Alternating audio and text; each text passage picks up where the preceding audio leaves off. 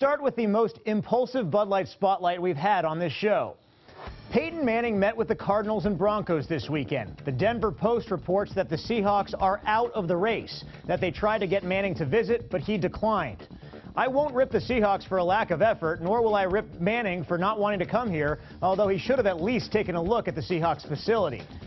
Instead, I'm more disappointed in the local media, including myself, for making such a big deal about speculative stories.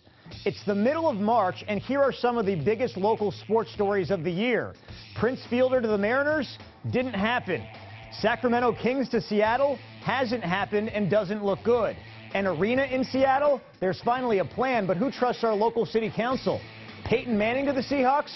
You know the story. The Super Bowl in Seattle? Well, that's at least five years away. Add the disappointment of the Huskies missing the NCAA tournament on one of the most exciting sports days of the year, Selection Sunday, and it's pretty depressing.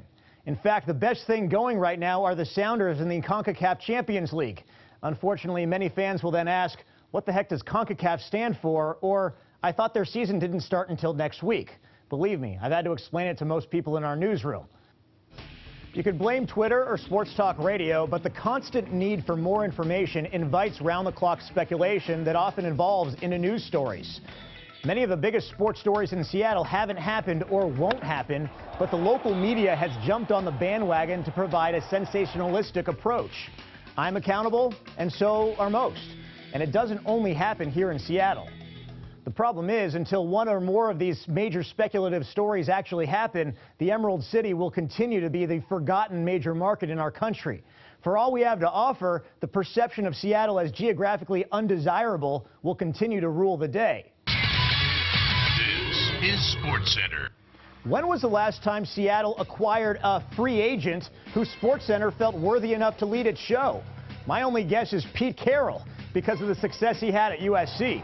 But imagine the change in perception if Fielder or Manning had looked Seattle's way. All of a sudden, we wouldn't have been the side story and instead a sideshow circus of media and attention. It's not to say the local teams shouldn't keep fighting because one day it'll happen. But Seattle fans have become so accustomed to getting their hopes up only to be disappointed that the latest string of speculative stories certainly hasn't helped morale. I'll keep pushing hard for the best interests of the sports community, but most of all, I can't wait for the day it's regularly rewarded with what it deserves. League titles, division crowns, and national championships, and the attention that comes with it. That's what should be leading our newscasts, not some pie in the sky. So what do you think? Has the speculation gotten out of hand? Is the local media to blame? Is it simply a matter of competition, and are the fans suffering because of it? You can always find me on Twitter at QItUpAaron or email us at tips at Q13Fox.com.